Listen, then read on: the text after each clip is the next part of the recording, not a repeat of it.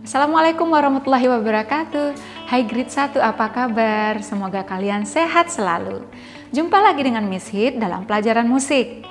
Kali ini kita belajar tentang bunyi. Nah anak-anak tahu bunyi? Bunyi bisa kita dengar karena berasal dari benda yang bergetar Kemudian dihantarkan oleh udara ke telinga kita Nah anak-anak bunyi ada dua ada bunyi buatan dan ada bunyi alam. Bunyi buatan dihasilkan oleh manusia dan bunyi alam dihasilkan oleh alam di sekitar kita. Nah, anak-anak, apakah itu bunyi alam? Seperti suara burung, suara. Kodok, suara. Anjing, suara petir, suara hujan,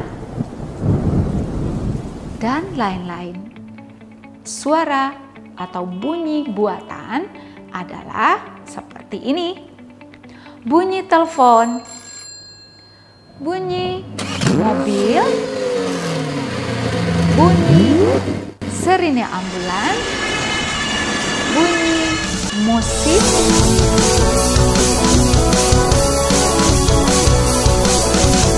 Bunyi pesawat terbang.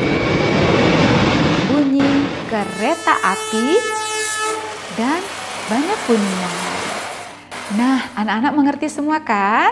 Sekarang tugas kalian adalah mengelompokkan gambar-gambar yang ada di dalam lesson kit kalian Kalian kelompokkan apakah gambar ini termasuk bunyi buatan atau bunyi alam. Nah, selamat beraktivitas. Terima kasih sayang.